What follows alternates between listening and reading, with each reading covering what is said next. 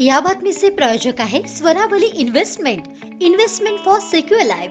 पत्ता Krishnakant mall. Second floor Kothari layout BC नाका road Umred. राज्यातील नागरिकांसाठी अतिशय मोठी आणि महत्वाची बातमी समोर येत आहे ज्यावरून राज्यात पुन्हा कडक लॉकडाऊन लागणार असल्याचे स्पष्ट संकेत मिळत आहे.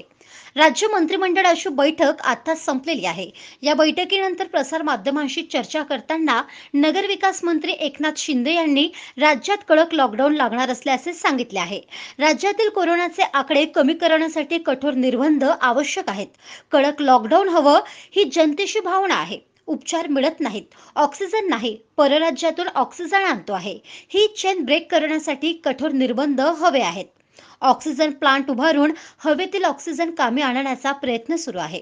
मुख्यमंत्री उद्या निर्णय जाहीर करतील असं देखील एकनाथ शिंदे म्हणाले आहेत. Bureau report Mahadarpan news Umred.